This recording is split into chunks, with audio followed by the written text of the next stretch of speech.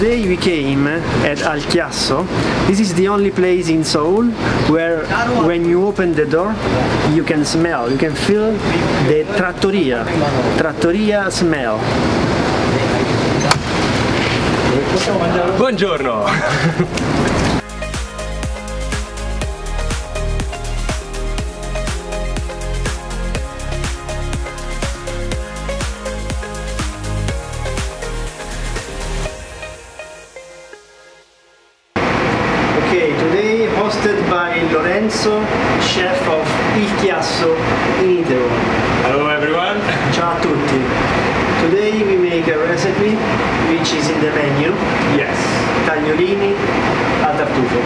Truffle tagliolini. Explain us about this, this recipe. Uh, so this is a recipe from the Piemonte area. Piemonte area, originally. It's a very classic recipe, very simple to do, with just a little bit of truffle, butter, everybody can do it at home. Yeah, so this is the uh, homemade version. Homemade version. Okay, so this is the homemade version of the tagliolini al tartufo. Everybody can do. If you want a more sophisticated version, you have come to come here. here. So today I will explain how to execute this dish uh, easily at your house, with the comfort of your own uh, house. So I will uh, do everything by hand, so that uh, No machine. no machine, everything by hand. Just struggle. Just a very big struggle. Big struggle. Okay, let's get into it. Okay.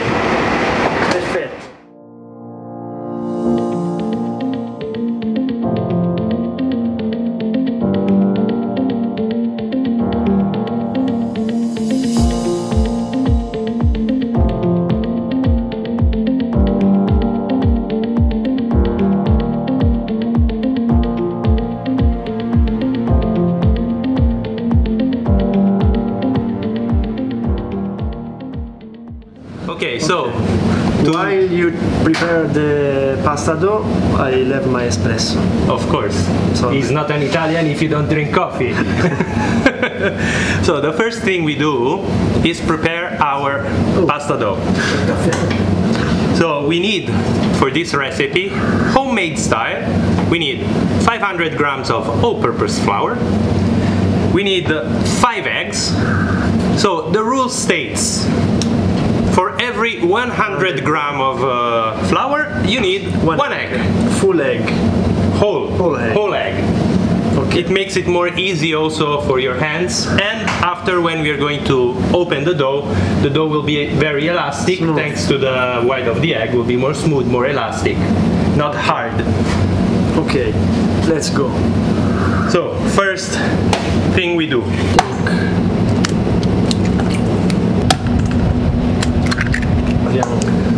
pizzico di sale, one pinch of salt,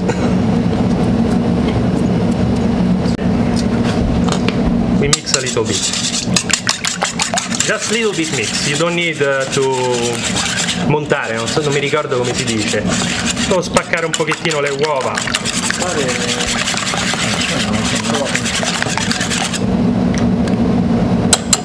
Now we put our flour in our working station and we do what we call in Italy fontana, punsu in Korean. so we try to make a small mountain first and then we make a hole in the center. We make a volcano then. Hmm. No? That's why we call it punsu and not mountain. we make we try to keep even the walls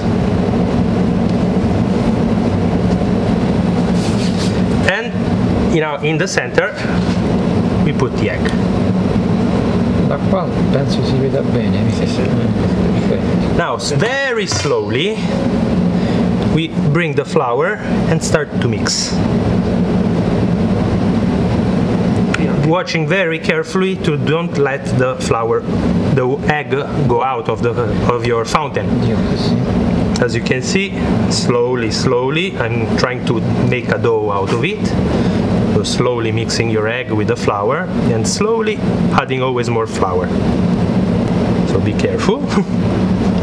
so we broke our fountain finally and uh, we have this uh, mass of dough. The dough is not finished. Now we have to start making the dough effectively. The dough. So you take, fold and press. And keep, and keep bringing the flour to the center and press. Che si vede. The dough is very sticky, so don't worry about it. Everything that's uh, left in your hand, you rub it off and keep on using it in the dough. Maybe you can just lick your finger and then I don't think I don't think you want to do that.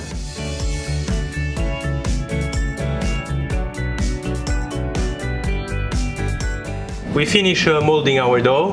We make a nice ball and we have to keep the dough resting for one hour at least. So what we do is we take a linnet, we wet it and we cover the dough so that it doesn't make a crust. Ok. This is very important. You don't want it to crust. Andiamo sulla cosa, vai. See you in one hour.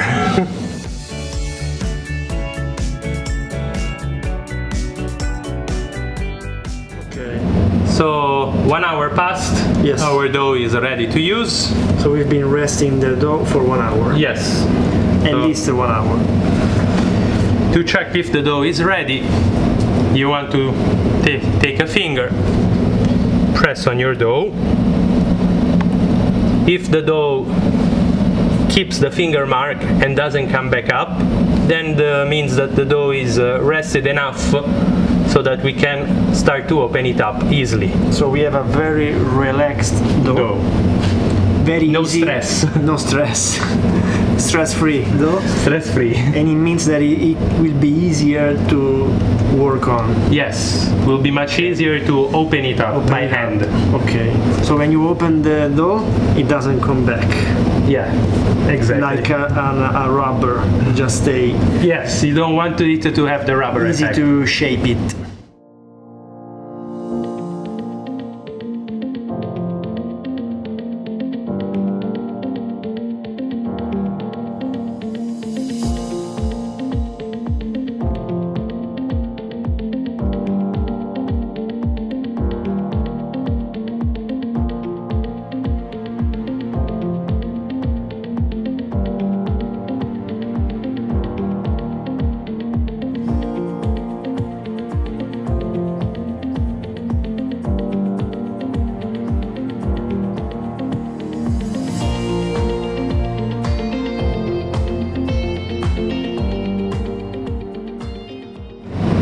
Want to keep the dough a little bit uh, thick, not too much uh, thick.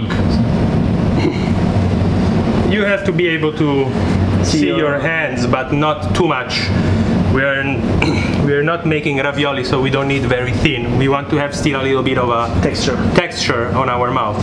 So now we are going to cut our dough. So a little bit of flour, we start. Flour on the dough, of course. And we make a fold. So let's decide how long we want the tagliolini. So I would say around one palm and four fingers. Yeah, should be enough. Around here. So I fold here. Put a little bit extra flour. And I fold again. Basically, I make a three-fold. You, can, you use a chopping board. I like to use the cutting mat because for other preparations I have also mm. the dimensions. I can cut at various dimensions. For this recipe, you don't need. Yeah. So I will take my, my dough and put on my chopping board.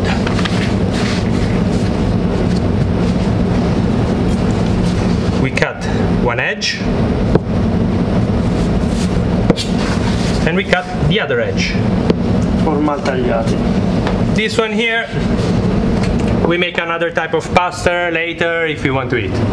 Like this, we have three sheets of dough. One, two, and three. Now, we are going to do. First thing you want to do is like you do with the kalguksu, you want to roll your dough. You can make a circle, you can make uh, whatever shape, whatever roll you want, the size. I make it at this size because comes easier to cut out. We're going to use a knife, our chopping board, and our roll of pasta. You can cut off the end to make it nice and clean, and then around 3 4 millimeters uh, wide because it's not tagliatelle, it's a little bit wider than linguine. so let's say around this much.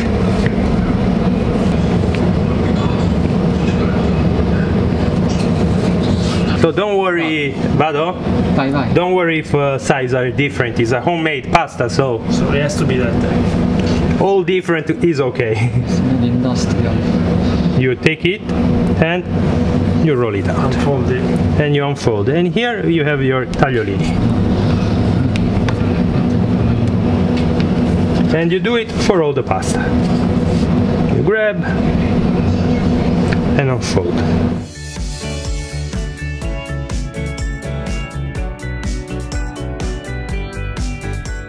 to avoid uh, that the pasta to stick we are going to grab a little bit of flour put it on top and mix a little bit and separate a bit. So for one person around 100 gram should be enough of fresh pasta. Yeah. Here we have around 300 gram. This is enough for three people.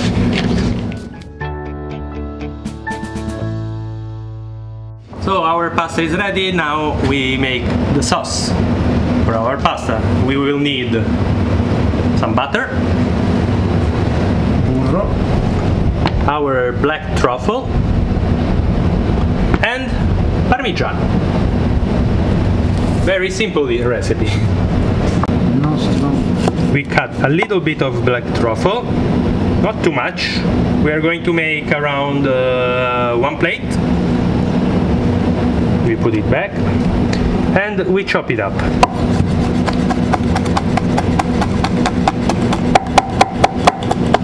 qui è un pochino più in ombra, forse eh, che c'ha eh. si vede, eh, no? No, questo non te- One little bit olive oil, just very little bit. The butter.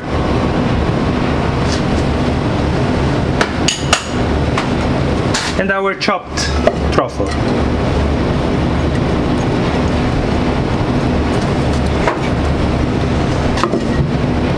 We go very low fire. because we don't want to burn the, the butter.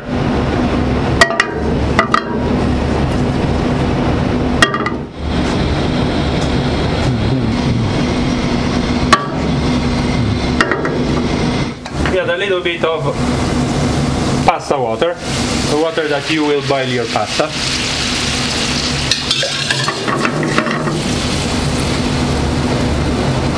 Like always, a pinch of salt. and the sauce is done for now. Okay. Our water is boiling. Water and salt. Not only water. Italians cook pasta, water and salt. When the water is boiling, we put the tagliolini inside. I like al dente, so I go three minutes. And little bit of a mix. You want the pasta to separate itself in the water.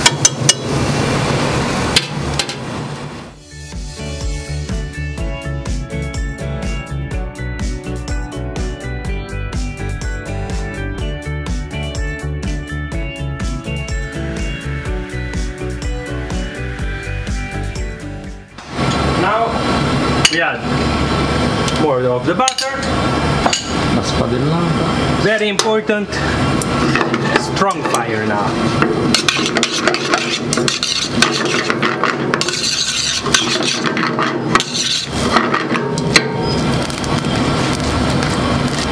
One, two, three, and it's done. Parmigiano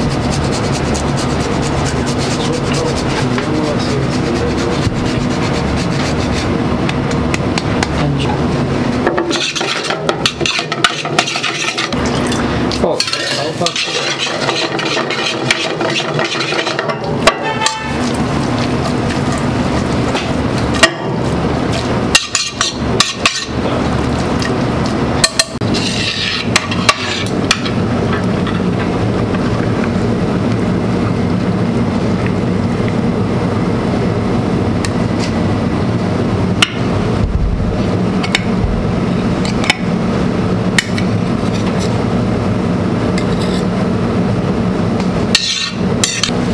Bit more Parmigiano.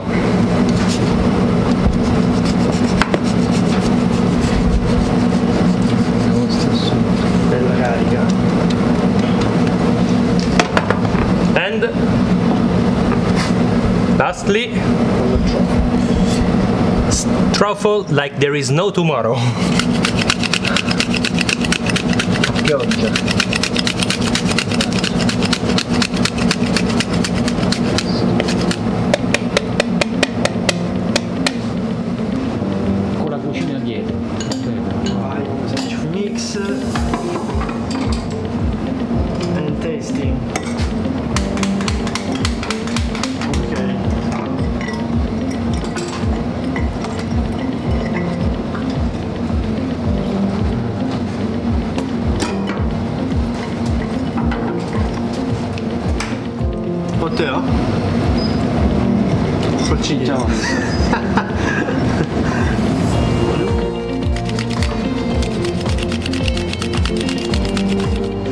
Pensi?